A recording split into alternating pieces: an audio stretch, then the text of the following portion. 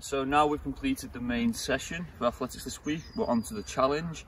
This week's challenge, uh, again, we're looking to activate our fast twitch muscle fibers. Who can do the most high knees in 30 seconds? So to achieve the bronze level, have a go at trying to do 60 high knees in 30 seconds, then have a go at silver, 80, and if you can do 100 high knees in 30 seconds, you'll get gold. But keep on trying to push yourself, getting better and better.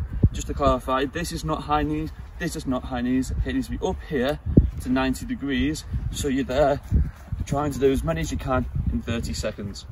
So I thought it only fair that I have a go at the challenge myself.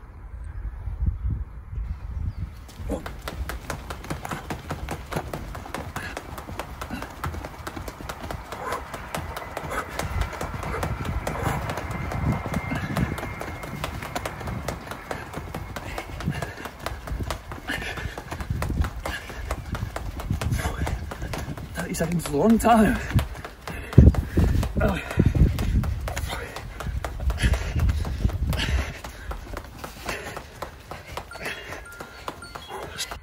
Yeah, it takes it out of you, so have a go. Try and maintain the speed as long as you can while keeping the quality and you'll really feel that lactic acid.